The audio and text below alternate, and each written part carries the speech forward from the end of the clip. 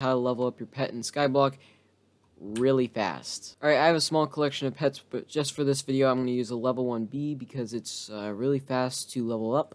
Alright, and we're going to talk about strategy number one. Alright, strategy number one is collecting from minions. As you can see, I just leveled up my bee to 5 instantaneously, just from collecting from one minion. So whatever minion you have, it doesn't really matter, it's going to level up some type of skill. Skill experience is exactly what you need to even level up a pet. Collect skill experience, it helps level up your pets, and that's why when I collected from the clay minion, it gave me fishing experience, and gave me higher level on my pet. Alright, and the second method is collecting from farms. So if I go ahead and start collecting from this farm, my bee just leveled up to level 6. Now you don't need to have this large of a farm, you can just warp to the hub.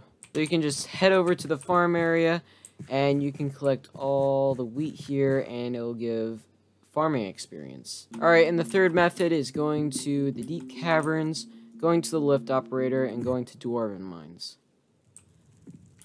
What you want to do here is get out a pickaxe and just start mining the mithril veins.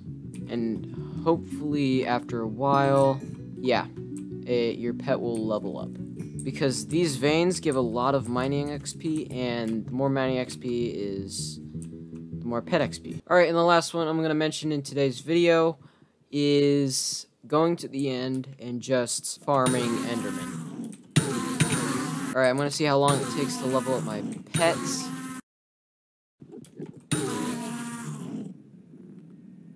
Oh wow, it uh leveled up.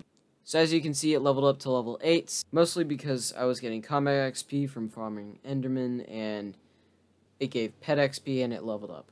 So that's it for the video. If you did enjoy, give a like, maybe, maybe subscribe, and I'll see you next time. Bye!